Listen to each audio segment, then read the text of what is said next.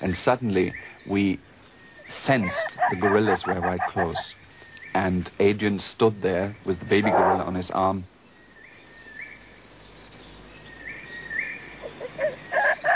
And suddenly the gorilla called in a way it had never called before.